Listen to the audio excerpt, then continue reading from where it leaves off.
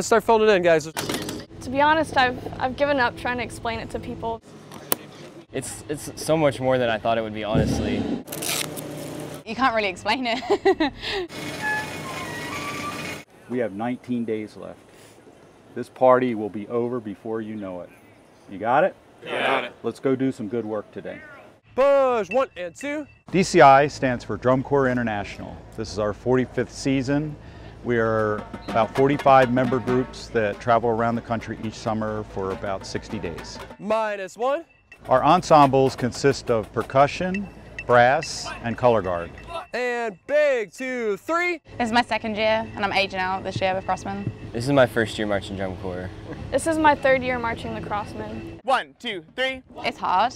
It's tough. You hit some walls, and um, it's yeah, it's just like really hard because you're obviously living in each other's pockets, and you're moving from house to house, and you live on a bus for three months.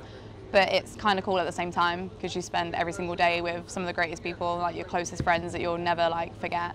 Frontline, ready? It's been really physically and mentally demanding. Like I never thought it would be as challenging as it was, but um, like coming to meet those challenges and seeing yourself get stronger along the way, like it's been a lot of fun. It's been an experience. I never expected I'd be here this long, but just every summer I keep coming back for the people and just, I really care about this program. So we wake up really early and head down to the food truck. Morning. We serve four meals a day, which ends up being about 28 meals a week. We serve 200 people at every meal.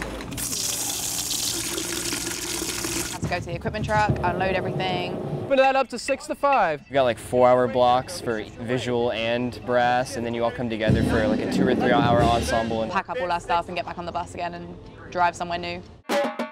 we headed up from Texas into like Arkansas. Iowa, We've been to Missouri, Indy. Wisconsin, Minnesota. I kind of just get on a bus and go wherever I'm told. is proud to present the Crossmen.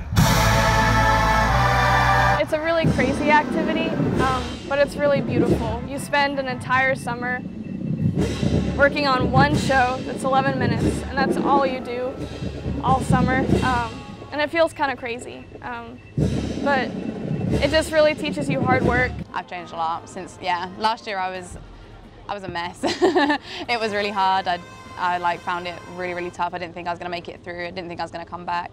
And then this year I've come back like a completely different person. It's been the best summer of my life.